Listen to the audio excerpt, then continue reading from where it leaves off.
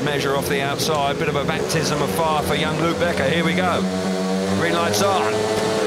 Tapes are up.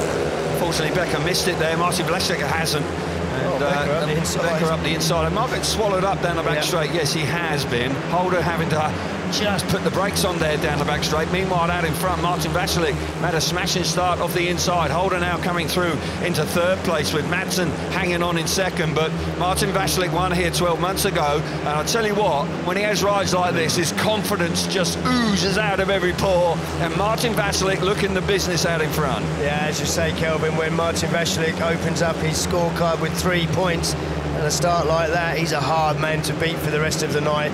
He will be confident now. Locked horns, of course, with Jack Holder. So this is uh, advantage Martin Vaculik.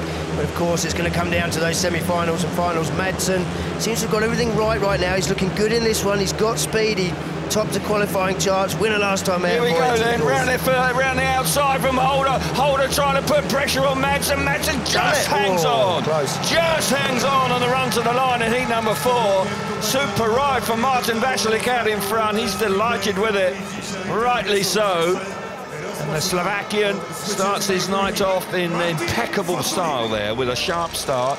Holder was getting faster and faster the longer the race went on. The first, Martin just hanging on by the skin of his teeth on the run to the line. Third, Jack Smashing race once again. Martin Vaculik three points. Leon Madsen back in second place, two points for him. Jack Holder one point in third, and Luke Becker misses out in heat number four. Great ride for Martin Vaculik. We see the position after four um, uh, heats tonight, one ride each. Three for Zmarzlik, Lambert, Dudek and Vaculik.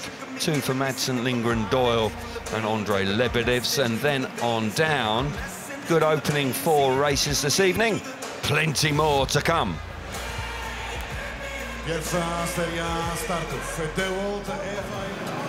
Good ride that. I, um, uh, he, uh, as I say, once he uh, gets off to a good start, he can be a very dangerous rider.